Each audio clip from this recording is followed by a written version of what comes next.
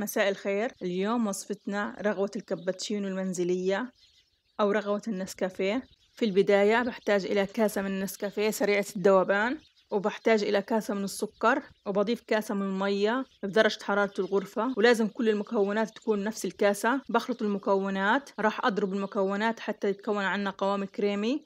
هستخدم المضرب الكهربائي اليدوي ومدة الضرب من خمس دقايق إلى سبع دقايق حسب نوع المضرب والسرعة. بفضي رغوة الكابتشينو في علبة وبحفظها في الثلاجة لمدة خمس أيام ولمدة عشر أيام في الفريزر. لازم العلبة تكون محكمة الإغلاق وما يدخلها هواء. ولتحضير كاسة من النسكافيه بضيف معلقتين من رغوة الكابتشينو وبصب عليها الحليب الساخن وبقلب الحليب مع الرغوة بهذا الشكل.